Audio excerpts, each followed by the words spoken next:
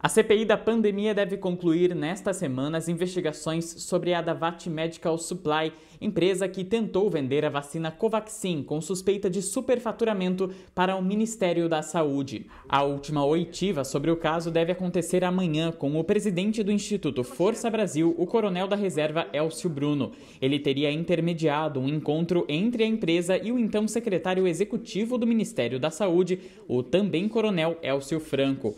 A partir desta semana, a comissão volta a focar na venda e prescrição de remédios sem eficácia comprovada no combate à Covid-19.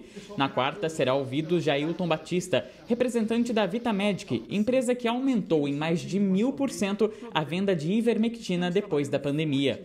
E a semana se encerra com o deputado federal Ricardo Barros, do PP do Paraná, citado pelo presidente Jair Bolsonaro como principal suspeito no superfaturamento na compra da Covaxin. Olá, boa noite. E você vai ver também no Jornal da Cultura.